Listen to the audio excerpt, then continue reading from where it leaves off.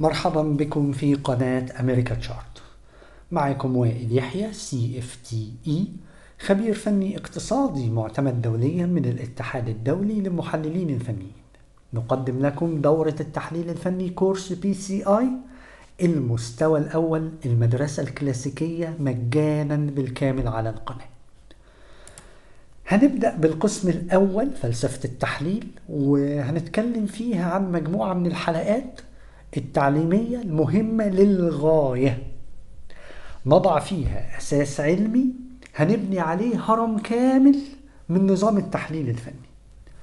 إيه هي مواضيع حلقات المستوى الأول القسم الأول؟ فلسفة التحليل. الحلقة الأولى أنواع التحليل المالي.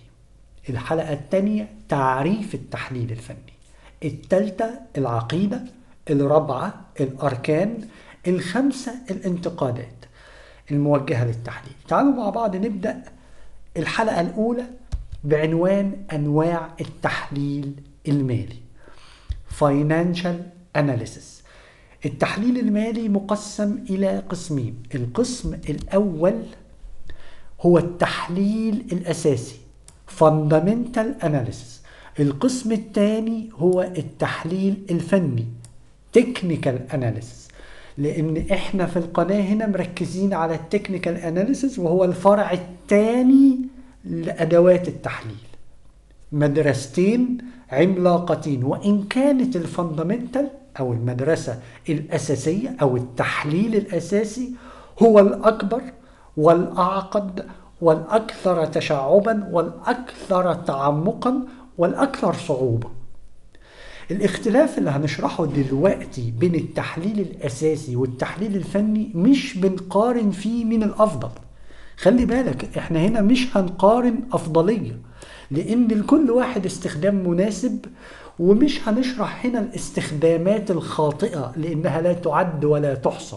إحنا هنا هنركز على الاستخدام السليم اللي المفترض أن يكون وهنقارن ما بينهم في مجموعة من النقاط.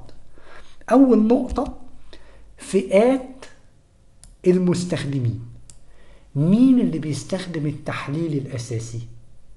طبيعي الكيانات المالية الضخمة زي الشركات المؤسسات البنوك سواء مركزية أو تجارية أو ما شابه بيركزوا على التحليل الأساسي أو الفندمنتال مش معنى كلامي إنهم ما بيستخدموش التحليل الفني لكن معظم أدواتهم ترتكز على التحليل الأساسي وبعض من أدواتهم على التحليل الفني.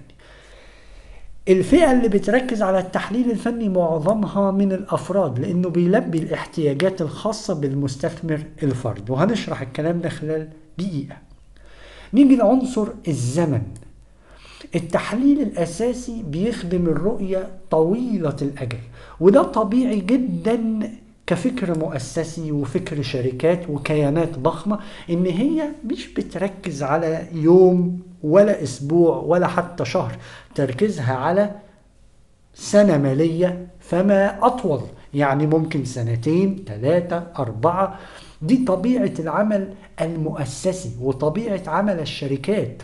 في معظم الأوقات بتركز على الإطارات الزمنية الطويلة عكس الأفراد اللي رؤيتهم في الأغلب تميل إلى القصيرة والمضاربية. في كثير من الأحيان ممكن يبقى تركيزه على يومين ثلاثة تداول عكس الشركات اللي بتركز في شغلها على سنوات طويلة. الهدف وهنا بقى نقطة اختلاف مهمة جدا. الهدف من التحليل الأساسي هو تقييم الشركات. ممكن التقييم ده يبقى من أجل الدمج مع شركة أخرى أو من أجل الاستحواذ بالكامل على شركة أخرى أو من أجل التصفية والبيع والتقييم الشركات له أسباب كتير. أنا بس ضربت مثال بثلاث أسباب مشهورة. بينما هدف التحليل الفني تحديد اتجاهات حركة السهم ووضع الخطط التداول المطلوبة. طيب إزاي نرجع للتحليل الأساسي؟ إزاي الشركات بيجري تقييمها من أجل الدمج والاستحواذ عن طريق تحديد القيمة العادلة لسهم الشركة؟ تحديد القيمة العادلة ده طبعا بيتم بأدوات دراسة القوائم المالية والميزانيات والبيانات المالية المختلفة وعوامل الاقتصاد المؤثرة على نشاط الشركة والصناعة نفسها واعدة أم غير واعدة والنسب المالية الخاصة للشركة وقصة طويلة عميقة معقدة ومتشعبة. تخيل أنت علشان تحدد القيمة العادلة لسهم شركة ما محتاج تدرس كل العوامل دي. عناصر خارجية وعناصر داخلية. عناصر خارجية تخص الاقتصاد ونشاط القطاع والصناعة والمنافسين بينما العناصر الداخلية هتخص القوائم والميزانيات والبيانات المالية والنسب المالية الخاصة بالشركة. طبيعي الأمور دي تاخد وقت طويل جدا. بينما أدوات المحلل الفني أولا هو بيحلل سعر السوق وأدواته الرسم البياني وحجم التداول فقط لا غير لأنه بيركز على حركة السهم أو حركة سعر السهم. في نقطة تحديد القيمة العادلة عايز أقول حاجة.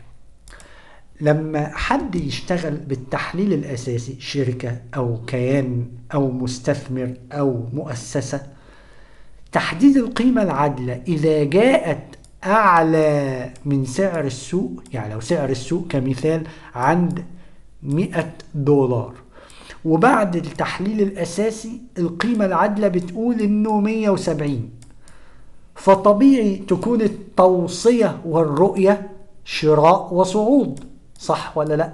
لأن القيمة العادلة أعلى من سعر السوق الحالي وكأن السعر دلوقتي رخيص قوي. بالنسبة لثمن السهم وبالتالي يستحق الشراء. فإذا جاءت القيمة العادلة مثلا بستين أو بخمسة وستين دولار معناها أن القيمة العادلة أقل كثيرا من قيمة السهم الفعلية في السوق. فده معناها أن رؤية السهم ضعيفة ورؤية الشركة ضعيفة وأن الرؤية والتوصية تكون بالبيع لأن مستهدف السهم هابط نظرا لأن القيمة العادلة التي يستحقها وفقا للتحليل الأساسي أقل من سعر السوق. أما إذا جاءت القيمة العادلة تساوي أو تقارب سعر السوق مثلا 100 دولار أو 101 أو 99 فده معناه احتفاظ بسهم الشركة لا طلوع ولا نزول. وعلى الأقل مفيش فرصة استثمارية سواء صعودا أو هبوطا. الكلام ده كله بيستغل فيما بعد من أجل تقييم الشركة ومن أجل معرفة إذا كانت تستحق سعر السوق أم لا. وده هيساعد المستثمرين المحللين الأساسيين في تحديد اتجاه سهم الشركة. وده هيساعد على اتخاذ قرار الدمج أو الاستحواذ أو البيع أو سعر التصفية وما شابه من قرارات استثمارية بتاخد وقت طويل جدا علشان تتعمل. نيجي لنقطة التخصص. التخصص ده يعني نقول فيه كلام كتير جدا لكن أحاول أختصره على قد ما أقدر إن كل صناعة ليها تحليلها الخاص ومحاسبتها الخاصة. يعني لما تيجي تعمل تحليل أساسي لشركة أغذية بتواجهك مجموعة من العناصر سواء تخص الصناعة أو تخص نشاط الشركة مختلفة تماما عما إذا ما قمت بتحليل شركة خاصة بمجال الإنشاء مثلا. وتختلف تماما عن شركة سيارات وتختلف كلية عن شركة أدوية أو مصرف أو بنك وهكذا. كل تخصص محتاج دراسة عميقة في مجال النشاط. بينما سهل جدا في التحليل الفني بالرسوم البيانية لأنها أداة موحدة إنك تنتقل بين الأسهم وتنتقل بين القطاعات دون الحاجة لتخصص أو اكتساب دراسة جديدة. خلاص أنت فهمت التحليل الفني وعرفت تفهم وتحلل الرسوم البيانية وأحجام التداول فبالأدوات دي تقدر تقفز من سهم لآخر ومن قطاع لآخر دون الحاجة لعلم جديد. بينما على الجهة الأخرى في التحليل الأساسي لا أنت بتحتاج شوية دراسة للعناصر المختلفة بين كل قطاع وللعناصر المختلفة بين كل نشاط شركة والآخر. وعلى ضوء كل ما سبق من نقاط سرعة اتخاذ القرار في التحليل الأساسي بتاخد وقت طويل جدا. يصل لعدة أشهر وعلشان كده طبيعي تلاقي القوائم المالية والبيانات ربع سنوية. بينما البيانات المجمعة سنوية. إنما في التحليل الفني علشان تاخد قرار ممكن تستغرق أيام أو أسابيع لكن مش شهور طويلة زي التحليل الأساسي. نيجي بقى لعنصر التوقيت. فرضا أنا عرفت أن القيمة العادلة للسهم 170 بينما هو سعره في السوق 100 إمتى يكون الشراء التحليل الأساسي؟ ما يجاوبش على النقطة دي أبدا. طيب إمتى يكون البيع لو سعر السهم العادل وفقا للتحليل الأساسي 65 دولار وسعر السوق 60 خلاص عرفنا إن التوجه بيعي. إمتى بقى يتباع؟ ما يجاوبش عليها التحليل الأساسي.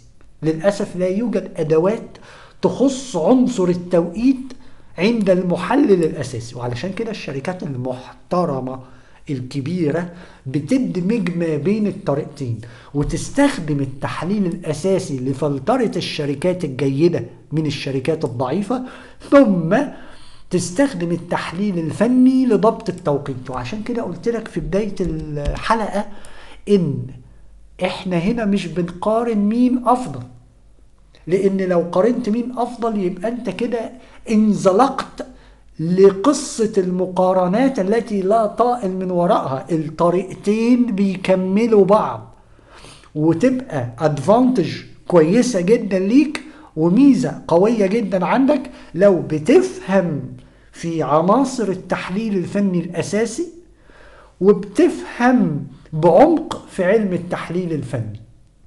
التحليل الأساسي لو عندك له أو في معرفة ولو بالأساسيات الخاصة به تساعدك على الاختيار المناسب للشركات مع علم جيد عميق في التحليل الفني هتبقى قوي جدا في مجالك. وعلشان كده بنقول الاتنين بيكملوا بعض. مفيش في واحد أقوى من التاني. مفيش في واحد أفضل من التاني. مفيش في واحد أحسن من التاني. كلاهما مهم. طيب نيجي بقى للنقطة اللي تخص التوقيت. التحليل الفني بيخدم المستثمر والمضارب في عنصر التوقيت. طيب الخطة.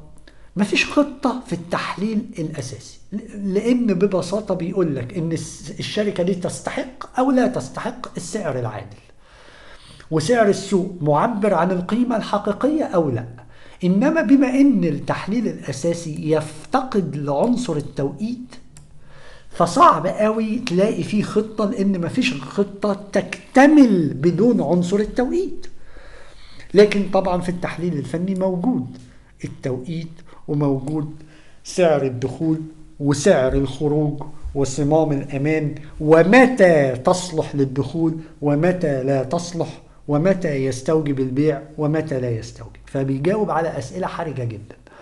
طيب هل يجوز العمل بواحد منهم فقط؟ طبعا ممكن تشتغل بالتحليل الأساسي فقط بعيوبه ومميزاته وتشتغل بالتحليل الفني فقط بعيوبه وبمميزاته. نيجي بقى لنقطة الأفضلية اللي إحنا لسه متكلمين عليها.